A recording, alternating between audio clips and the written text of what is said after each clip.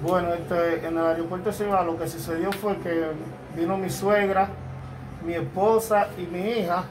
Entonces ellos, un ejemplo, nadie tiene acceso a recoger los pasajeros en el frente y los maleteros le dijeron a ella que tenían que ir para adentro. Entonces lo que ellos dejaron a mi esposa y mi suegra y mi hija con ocho maletas a que bajaran para, para abajo, para el parqueo, porque nadie tiene acceso a montar personas en el frente.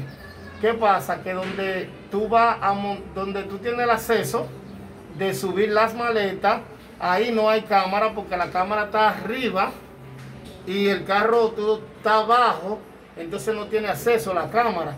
Entonces cuando nosotros estábamos subiendo la maleta, eh, el bolso estaba adelante y alguien, parece un descuido de nosotros, fue y sacó el bolso y se fue por ahí mismo, ¿entiendes? Entonces eso fue lo que pasó. ¿Qué contenía el bolso?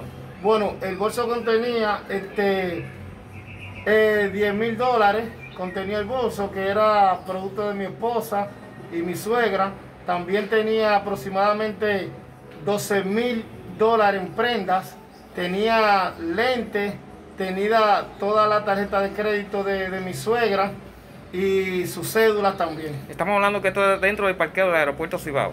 Dentro del parqueo del aeropuerto Cibao. Ahora bien, yo mi pregunta es, ¿cómo es el que viene no le dan acceso para que monte su maleta desde que sale de la, desde que sale de, de aduana y entonces los que se van tienen acceso a dejarlo frente al aeropuerto?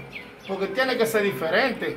Si una persona viene, viene cansado, un viaje largo, lo que sea, ellos tienen que darle la prioridad a ellos que se monten, que monten todo frente al aeropuerto, porque frente a frente ahí tienen la policía y todo, pero donde se va a montar la maleta, allá no hay seguridad, ¿entiendes? Y eso, eso, eso está, mal. ¿Qué llamado que tú le haces entonces a las autoridades?